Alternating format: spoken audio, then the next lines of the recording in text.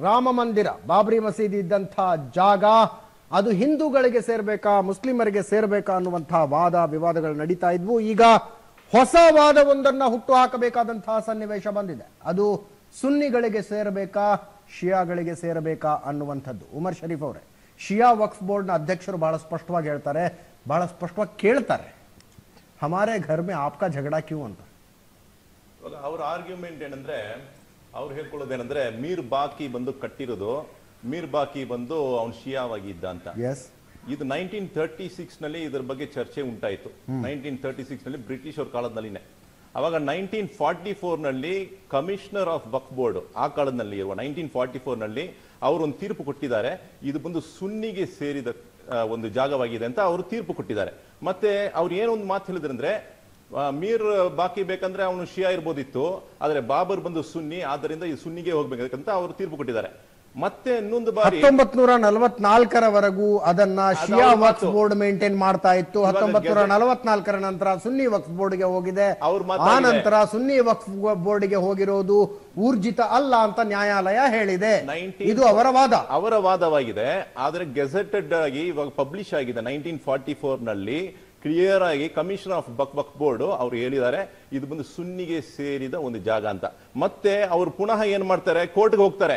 ಕೋರ್ಟ್ಗೆ ಹೋದರ ನಂತರ ಎಸ್ ಎ ಅಹಸಾನ್ ಎಂಬ ಜಡ್ಜು ಅವ್ರು ರೂಲ್ ಮಾಡ್ತಾರೆ ಇದು ಸೆಂಟ್ರಲ್ ಸುನ್ನಿ ಸೆಂಟ್ರಲ್ ಬೋರ್ಡಿನ ವಕ್ಫ್ಗೆ ಸ್ವಂತದಾಗಿ ಇರುವ ಜಾಗ ಅಂತ ಅವ್ರು ಹೇಳಿದ್ದಾರೆ. ನಿಮ್ಗೆ ಅದು ಕೂಡ ನಿಮ್ಗೆ ಮಾಹಿತಿ ಬೇಕಂದ್ರೆ ಮಾರ್ಚ್ ಇಪ್ಪತ್ತ್ ಮೂರು ಸಾವಿರದ ಒಂಬೈನೂರ ಆದ್ದರಿಂದ ಆದ್ದರಿಂದ ಆ 1946 ವಿವಾದಿತ ಜಾಗದಲ್ಲಿ ಸುನ್ನಿ ವಕ್ಸ್ ಬೋರ್ಡ್ ತೆಗೆದುಕೊಳ್ಳುವಂತಹ ತೀರ್ಮಾನವೇ ಅಂತಿಮ ಮತ್ತು ತಮ್ಮ ತೀರ್ಮಾನ ಇದು ಬಂದು. ಇಲ್ಲ ಇಲ್ಲ ಸುನ್ನಿಗೆ ಸೇರಿದ ಜಾಗವಾಗಿ ಜಾಗವಾಗಿದೆ. ಒಂದು ವೇಳೆ ಶಿಯಾ ಅವರು ಬಂದು ಹೇಳ್ಕೊಳ್ತಾ ಇದಾರೆ ಇಲ್ಲಪ್ಪ ಒಂದು ಜಾಗ ಬಿಟ್ಕೊಡಿ ಅಂದ್ರೆ ನಾನು ಏನ್ಕೊಳ್ತಿದ್ರೆ ಹುಸೇನಾಬಾದ್ನಲ್ಲಿ ಅವ್ರದ್ದು ಗ್ರ್ಯಾಂಡ್ ಮಾಸ್ಕ್ ಇದೆ. ಅದನ್ನ ಬಿಟ್ಕೊಡಕ್ ಹೇಳಿ? ಕೊಡಲ್ಲ. ನೋಡಿ ಪಕ್ಕದ ಮನೆಯಲ್ಲಿ ಅವನ ಮನೆಯಲ್ಲಿ ಕಾರ್ ಇದೆ ಅಂದ್ರೆ ಅವನ ಕಾರನ್ನ ನಾನು ಯಾರಿಗೋ ದಾನ ಧರ್ಮ ಮಾಡೋದು ಈಸಿ ನಿಮ್. ಕಾರನ್ನ ನೀವು ದಾನ ಮಾಡಿ ಅಂತ ನಾನು ಹೇಳ್ಕೊಳ್ತಿರೋದು. ನಮ್ಮ ವೀಕ್ಷಕರಿಗೆ ಈ ಹಂತದಲ್ಲಿ ಅರ್ಥ ಆಗ್ತಾ ಇದೆ. ರಾಮ ಮಂದಿರ ವಿವಾದ ಅನ್ನುವಂಥದ್ದು ತ್ರಿಕೋನ ಸ್ಪರ್ಧೆಯಾಗಿದೆ. ತ್ರಿಕೋನ ಸ್ಪರ್ಧೆ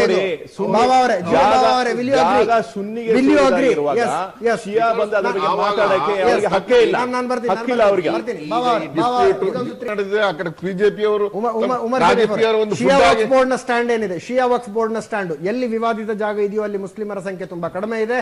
ಮುಸ್ಲಿಮರ ಸಂಖ್ಯೆ ಜಾಸ್ತಿ ಇರುವಂತಹ ಅಯೋಧ್ಯೆಯ ಪ್ರದೇಶದಲ್ಲಿ ನಾವು ಒಂದು ಮಸೀದಿ ಕಟ್ಕೊಳ್ತೀವಿ. ಇಲ್ಲಿ ಬೇಕಾದ್ರೆ ಮಂದಿರ ಆಗ್ಲಿ. ಇಟ್ ಇಸ್ ದೇರ್ ಸ್ಟ್ಯಾಂಡ್ ಅದ್ರ ಬಗ್ಗೆ ನಿಮ್ಮ ಅಭಿಪ್ರಾಯ ಏನು? ಇವಾಗ ನಾನು ಬಂದು ಇದರಲ್ಲಿ ಧರ್ಮದ ದೃಷ್ಟಿನಲ್ಲಿ ನೋಡಕ್ ಹೋಗೋಲ್ಲ. ಕಾನೂನು ದೃಷ್ಟಿನಲ್ಲಿ ನೋಡಕ್ ಹೋಗ್ತದೆ ವೆರಿ ವೆರಿ ಧಾರ್ಮಿಕ ಚಿಂತಕರಾಗಿ, ಧಾರ್ಮಿಕ. ಆದ್ರೆ ಇವಾಗ ಕಾನೂನು ಒಂದಿದೆ. ದೃಷ್ಟಿಯಲ್ಲಿ ನೋಡೋದಾಗಿದ್ರೆ ಒಬ್ಬ ವಕೀಲರನ್ನೇ ಕ- ನೋಡಿ ಇಲ್ಲ ಇಲ್ಲ ಇಲ್ಲ ಇಲ್ಲ ನನ್ನ ಧರ್ಮ ಹೇಳ್ಕೊಳತ್ತೆ ಏನಂದ್ರೆ ನನ್ನ ಧರ್ಮ ಏನ್ ಹೇಳ್ಕೊಳತ್ತಂದ್ರೆ ಲಾ ಆಫ್ ದಿ ಲ್ಯಾಂಡ್ ನಾವ್ ಯಾವ ಭೂಮಿನಲ್ಲಿ ಇದೀವೋ ಆ ಕಾನೂನು ಪ್ರಕಾರ ನಾವು ಅದನ್ನ ಪಾಲಿಸಬೇಕಾಗಿದೆ. ಇಲ್ಲ ಒಂದ್ ನಿಮಿಷ ಒಂದ್ ನಿಮಿಷ. ಮುಗಿಸ್ಬಿಡ್ತೀನಿ. ಮುಗಿಸ್ಬಿಡೋಣ ಇರಿ. ನೋಡಿ ಇವಾಗ ಬಂದು ಸುಪ್ರೀಂ ಕೋರ್ಟ್ ಇದೆ. ಅವ್ರಿಗೂ ಕೇಸು ಆಗಿದೆ. ಮೂರು ಕೇಸ್ ಆಗಿದೆ ಇದುವರೆಗೂ. ಎರಡು ಕೇಸ್ ನಡೆಯುವಾಗ ಬಾಬರಿ ಮಸ್ಜಿದ್ ಇತ್ತು. ಆಮೇಲೆ ಬಾಬರಿ ಮಸೀದಿ ಇಲ್ಲ. ಯಾವ್ದು ಅದು ಡಿಸ್ಪ್ಯೂಟೆಡ್ ಬಿಲ್ಡಿಂಗ್ ಆಗಿರುವಾಗ ಒಂದು ಸ್ಟ್ರಕ್ಚರ್ ಆಗಿರುವಾಗ ಇವತ್ತು ಸ್ಟ್ರಕ್ಚರೇ ಇಲ್ಲ. ಫಸ್ಟ್ ಈ ಕೇಸಿಗೆ ಬಂದು ನಾವು ಬಂದು ಒಂದು ಸೊಲ್ಯೂಷನ್ ಹುಡುಕ ಮುಂಚೆ ಯಾರು ಆ ಡಿಸ್ಟ್ರಕ್ಷನ್ ಮಾಡಿದ್ರು? ಕಾನೂನು ವಿರುದ್ಧವಾಗಿ ಅಲ್ಲಿ ಇದ್ದ ಒಂದು ಒಂದು ಒಂದು ಕನ್ಸ್ಟ್ರಕ್ಟೆಡ್ ಸ್ಟ್ರಕ್ಚರ್ ಅನ್ನು ಯಾರು ಅದನ್ನ ತೊಲಗಿಸಿದ್ರು ಯಾರು ಅದನ್ನ ಡೆಮಾಲಿಷ್ ಮಾಡಿದ್ರು ಅವ್ರ ಮೇಲೆ ಫಸ್ಟ್ ಆಕ್ಷನ್ ತಗೊಳ್ಬೇಕಾಗಿದೆ. ನೀವು ಕಟ್ಟೋದೋ ಬಿಡೋದೋ ಆಮೇಲೆ ವಿಷಯ. ಯಾವುದು ಮಂದಿರ ಕಟ್ಟಿ ಎಲ್ಲ ಮಸೀದಿ ಕಟ್ಟಿ ಅದು ಬೇರೆ ವಿಷಯ.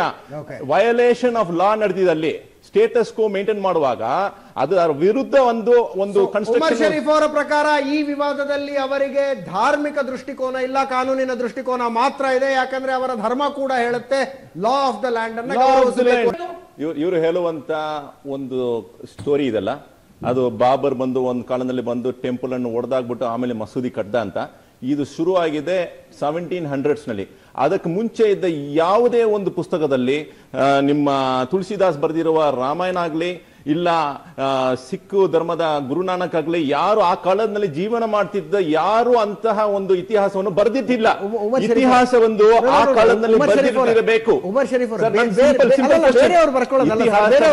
ಹೇಳುವವರು ಯಾರು?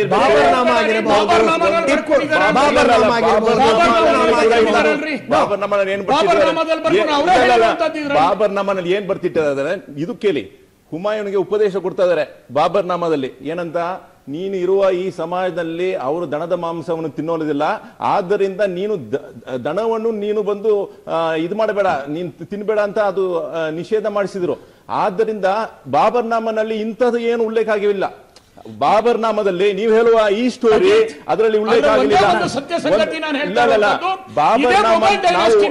ನಂತರ ವಿಶೇಷ ಕಾರ್ಯಕ್ರಮಕ್ಕೆ ಮತ್ತೊಮ್ಮೆ ಸ್ವಾಗತ.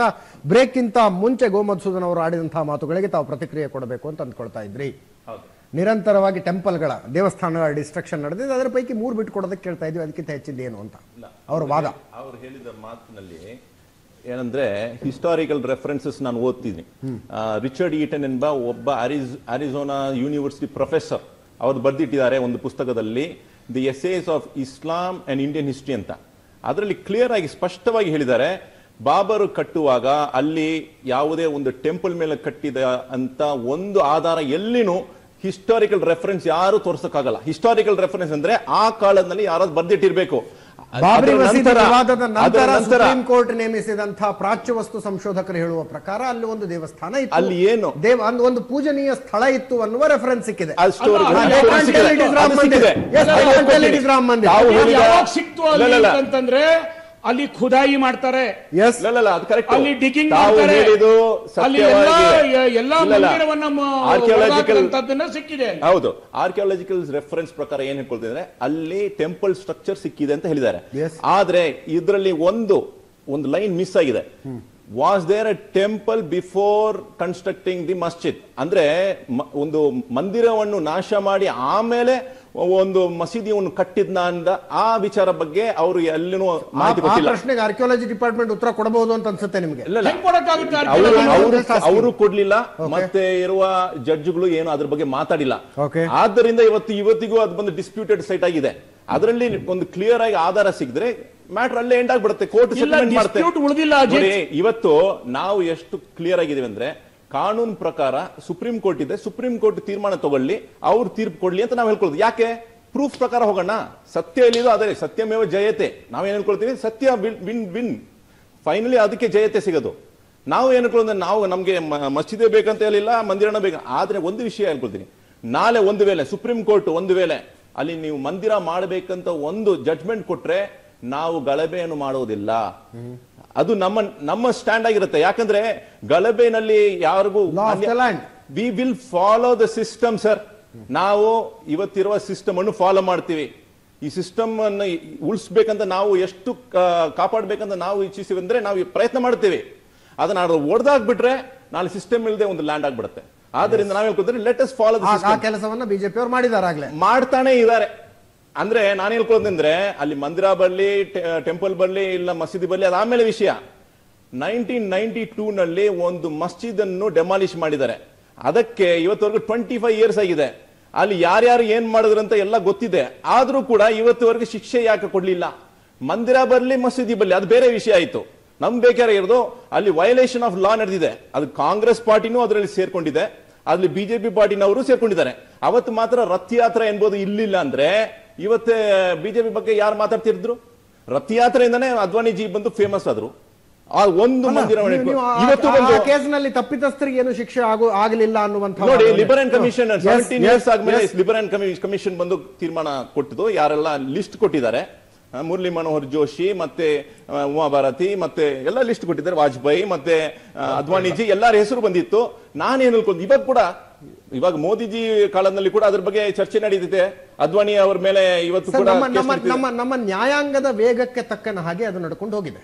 ಹೌದು. ನಮ್ಮ ನ್ಯಾಯಾಂಗದ ವೇಗಕ್ಕೆ ತಕ್ಕನ ಹಾಗೆ. ಬಹಳ ಸ್ಲೋ ಬಹಳ ಸ್ಲೋ ಇದಕ್ಕಿಂತ ಹತ್ತು ವರ್ಷ ಮುಂಚೆ ಆದಂತಹ ಸಿಖ್ ಗಲಭೆಯಲ್ಲಿ ತಪ್ಪಿತಸ್ಥರು ಯಾರು? ಅವ್ರಿಗೇನ್ ಶಿಕ್ಷೆ ಆಯ್ತು ಯಾರಿಗೂ ಗೊತ್ತಿಲ್ಲ. ಅದು ಅನ್ಯಾಯ ಆಗಿದೆ. ಅಲ್ಲಿನೂ ಅನ್ಯಾಯ ಇದೆ ಎಸ್ ಎಸ್ ನಮ್ಮ ನಮ್ಮ ನ್ಯಾಯಾಂಗದ ವೇಗ ಹಂಗಿದೆ. ನಮ್ಮ ನ್ಯಾಯಾಂಗದ ವೇಗ ಅವ್ರು let us not be selective in blaming ಭಾವ ಅವ್ರು ಒಪ್ಕೊಳ್ತಾರೆ ಅಂತ ಅನ್ಕೊಳ್ತೀನಿ ನಾನು. ಸರ್ ಒಂದು ವಿಷಯ ಹೇಳ್ಕೊಳ್ತೀನಿ. ನಾನ್ ಕಟ್- ನಾನು ಕೆಲವ್ರ ಹತ್ರ ಮಾತಾಡಿದ್ದೀನಿ. ಅವ್ರು ಏನ್ ಹೇಳ್ಕೊಳ್ತಂದ್ರೆ ಒಂದು ವೇಳೆ ರಾಮ್ ಮಂದಿರ ಕಟ್ಟಾಯ್ತಂದ್ರೆ ಬೇರೆ ಪೊಲಿಟಿಕ್ಸ್ ಮಾಡಕ್ಕೆ ಒಂದು ಪೊಲಿಟಿಕಲ್ ಫುಟ್ಬಾಲ್ ಸಿಗೋದಿಲ್ಲ ಬಿಜೆಪಿಗೆ ಅಂತ ಹೇಳ್ಬಿಟ್ಟು ಏನಂತ ಹೇಳಿದ್ರೆ ಬಿಜೆಪಿ ಬಂದಿರೋದೇ ರಾಮ ಮಂದಿರ ಹೆಸರಿನಲ್ಲಿ ಬಂದಿರೋದು. ರಾಮ ಮಂದಿರ ಕಟ್ಬಿಟ್ರೆ ಕಮ್ಯುನಲ್ ಡಿಸ್ಪ್ಯೂಟ್ ಇರೋದಿಲ್ಲ. ನೋಡಿ ಅದೇ ತರ ಅದೇ ತರ ಒಂದೊಂದು ವಿಷಯ ಹೇಳ್ಕೊಳ್ತೀನಿ. ಇನ್ನೊಂದು ವಿಷಯ ಹೇಳ್ಕೊಳ್ತೀನಿ.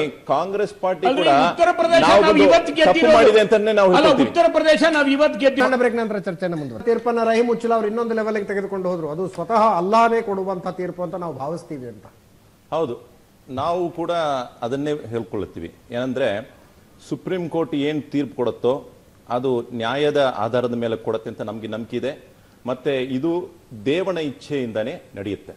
ಇದನ್ನು ಹೇಳ್ಕೊಂಡು ಇನ್ನೊಂದು ವಿಷಯ ಇನ್ನೊಂದು ವಿಷಯ ಹೇಳಬೇಕು. ನೋಡಿ, ನಾವು ರಾಮ್ ಅವರನ್ನು ನಾವು, ರಾಮರನ್ನು ನಾವು ಗೌರವಿಸ್ತೀವಿ. ಮರ್ಯಾದೆ ಕೊಡ್ತೀವಿ. ಅವರ ಜೀವನ ಚರಿತ್ರೆಗಳ ನಾವು ಓದಿ, ಓದಿದ್ದೀವಿ. ರಾಮಾಯಣದ ಬಗ್ಗೆ ಎಷ್ಟೋ ಓದಿದ್ದೀವಿ, ಬರೆದಿದ್ದೀವಿ. ನಮ್ಮ ಅವ್ರ ಮೇಲೆ ಬಹಳ ವಿಶ್ವಾಸ ಉಂಟು. ಅಂದರೆ ಒಳ್ಳೆ ಮರ್ಯಾದೆ ಕೊಡುವವರು ನಾವು. ನಾವು ಇನ್ನೂ ನೀವು ನಮ್ಮ ಪಂಡಿತರು ಏನು ಹೇಳ್ಕೊಂಡ್ರೆ ಒಂದು ಕಾಲದಲ್ಲಿ ಅವರು ಕೂಡ ಒಂದು ಪ್ರವಾದಿಯಾಗಿರ್ತಿದ್ರು ಅಂತಾನೆ ನಮ್ಮ ನಮ್ಮ ಮಾತಿದೆ. ನಾವು ಅವರನ್ನ ಗೌರವ ಮಾಡ್ತೀವಿ. ಆದ್ರೆ ಮಸೀದಿ ಆಗ್ಲಿ ಮಂದಿರ ಆಗಲಿ, ಅಲ್ಲಿ ಕಟ್ಟಬೇಕಂದ್ರೆ, ನಮಗೆ ಎಲ್ಲರಿಗೂ ಅನುಕೂಲ ಆಗ್ಬೇಕಂದ್ರೆ, ಎಲ್ಲರಿಗೂ ಶಾಂತಿ ಬರಬೇಕಂದ್ರೆ, ನ್ಯಾಯದ ಆಧಾರದ ಮೇಲೆ ಮತ್ತೆ ಪ್ರೂಫಿನ ಆಧಾರದ ಮೇಲೆ ಅಲ್ಲಿ ಏನೇ ಕಟ್ಟಿದ್ರು ನಾವು ಅದನ್ನ ಒಪ್ಕೊಳ್ತೀವಿ. ಏನೇ ಕಟ್ಟಿದ್ರು ಏನೇ ಏನೇ ಕಟ್ಟಿದ್ರು ನಾವು ಅದನ್ನ ಒಪ್ಕೊಳ್ತೀವಿ. ಯಾಕಂದ್ರೆ ಆಧಾರದ ಮೇಲೆ ಕಟ್ಲಿ.